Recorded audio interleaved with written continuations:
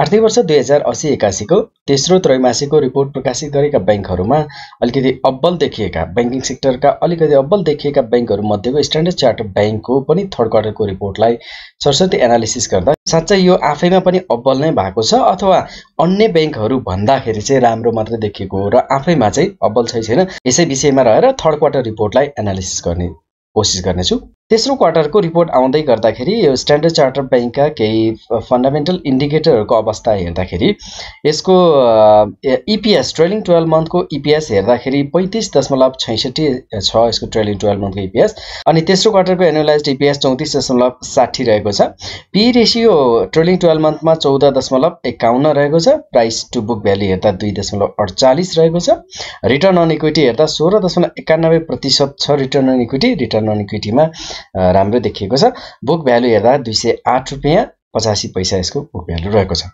अनि यसको सेयर संरचना हेर्दाखेरि चाहिँ सेयर पब्लिकहरूको होल्डिङ चाहिँ कम छ। सत्ताइस दशमलव अडचालिस प्रतिशत मात्रै पब्लिकहरूको होल्डिङ रहेको छ। अलिकति ब्याङ्किङ सेक्टरमा थोरै पनि हो यसको पब्लिक सेयर कम छ सो सप्लाई अलिकति कम पनि रहने बुझ्न सकिन्छ यसबाट।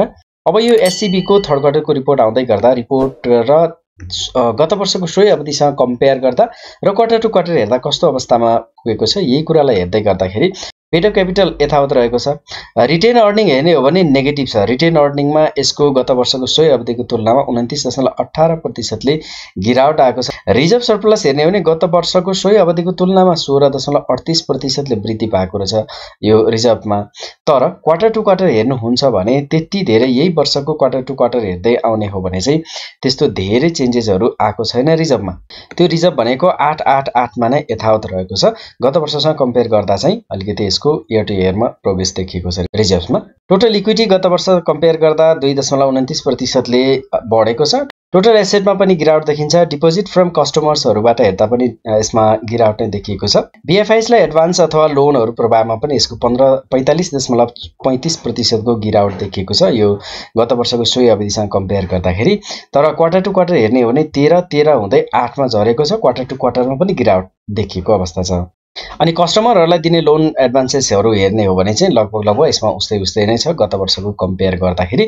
र यही वर्षको क्वार्टर क्वार्टर हेर्ने हो भने चाहिँ सेभेन्टी नाइन सेभेन्टी सेभेन र सेभेन्टी नाइन यो पनि लगभग लगभग उस्तै खालको कन्सिस्टेन्सीमा रहेको नै देख्न सकिन्छ।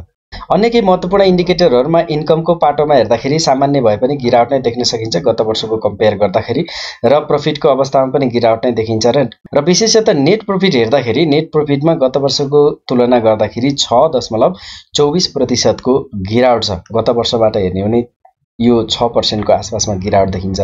अनि क्वार्टर टु क्वार्टर हेर्दै गर्दाखेरि चाहिँ अलिकति बढ्दै गएको नै देख्न सकिन्छ। क्वार्टर टु क्वार्टर हेर्दाखेरि फर्स्ट क्वार्टर सेकेन्ड क्वार्टर र थर्ड क्वार्टरमा हेर्दै गर्दा यसको क्रमशः वृद्धि भएको चाहिँ देख्न चाहिँ सकिन्छ। सो क्वार्टर टु क्वार्टरबाट हेर्दाखेरि राम्रै नै देखिएको छ। र गत वर्षको सोही अवधिसँग कम्पेयर गर्दा चाहिँ नेट प्रफिटमा अलिकति गिरावट आएको देखिएको छ।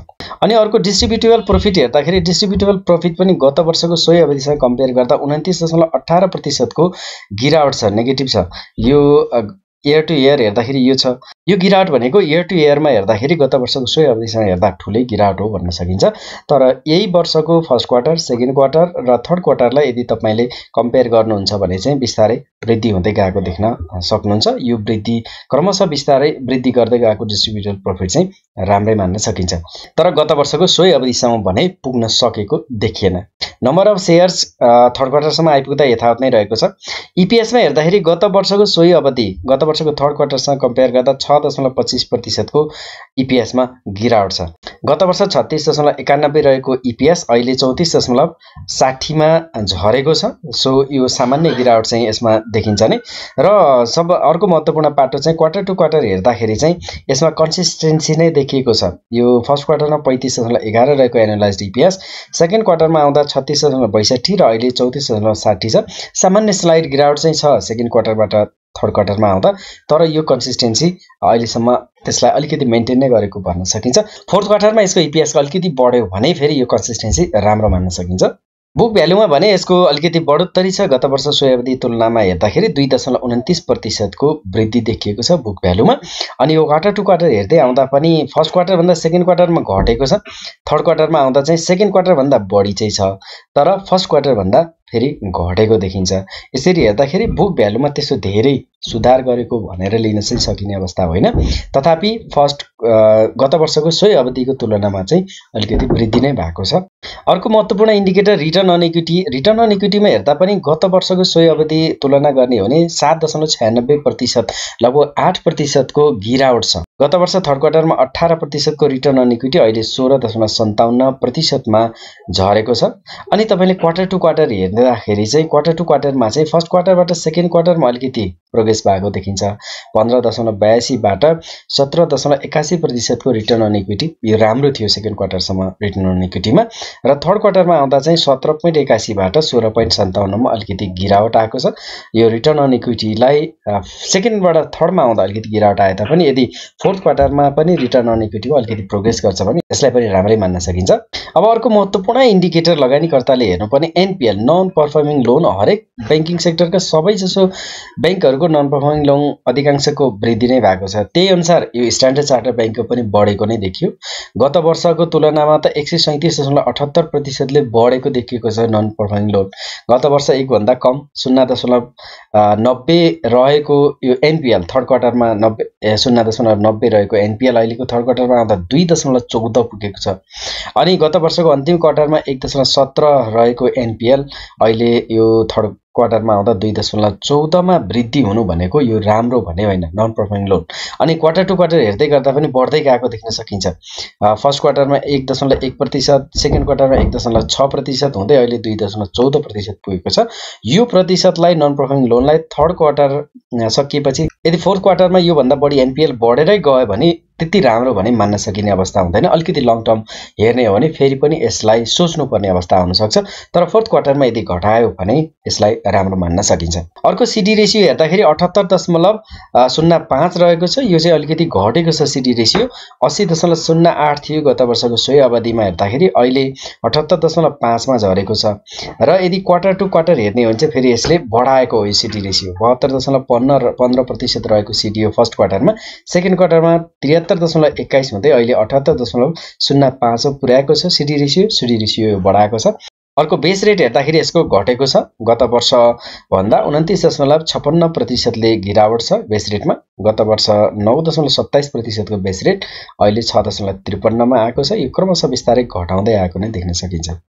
अनि थर्ड क्वार्टरसम्म आइपुग्दाखेरि डिस्ट्रिब्युटेबल इपिएस चाहिँ यसको एनुअलाइजमा पच्चिस दशमलव अडसठी डिस्ट्रिब्युटेबल इपिएस रहेको छ। यदि यसको फोर्थ क्वार्टरमा पनि यही कन्सिस्टेन्सीमा यसको पर्फर्मेन्स रह्यो भने यसको डिस्ट्रिब्युटेबल प्रोफिट त्यति धेरै फरक नआउला भन्न सकिन्छ।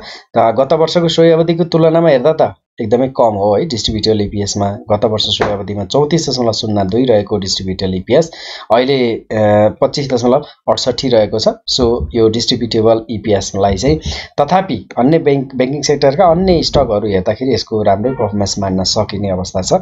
सो यदि फोर्थ क्वार्टरमा पनि डिस्ट्रिब्युटेबल इपिएसलाई मेन्टेन गर्न सक्यो भने यसलाई हामीले यो वर्षको प्रतिफलमा राम्रै एक्सपेक्ट गर्न सकिने अवस्था देखिन्छ।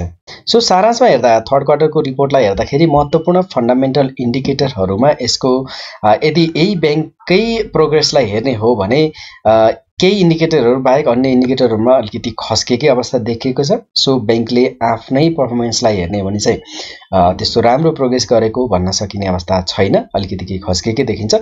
तथापि अन्य यही ब्याङ्किङ सेक्टरका सबैजसो ब्याङ्किङको यही अवस्था रहेको हुनाले अन्यसँग अर्थात् सबै बिग्रेका छन् भने बिग्रेकैहरूको बिचमा पनि राम्रो सप्रेको भन्ने यदि भाष्य प्रयोग गर्ने हो भने चाहिँ अब राम्रो मान्न सकिने अवस्था छ अन्यसँग तुलना गर्दा। तर यसैको बिचलाई यसैलाई नै यसैको पर्फर्मेन्सलाई पेरियोडिक रूपमा हेर्दा चाहिँ अलिकति खस्किँदो क्रममा देखिन्छ केही महत्त्वपूर्ण इन्डिकेटरहरूमा सो फोर्थ क्वार्टरको रिपोर्ट कस्तो आउँछ? त्यसलाई विश्लेषण गरेर आउँदा वर्षहरूको यसको पर्फर्मेन्स के हुन्छ त्यसको आधारमा लङ टर्मको होल्डिङ गर्ने अथवा सिफ्ट गर्ने एउटा स्ट्राटेजी बनाउन सकिन्छ।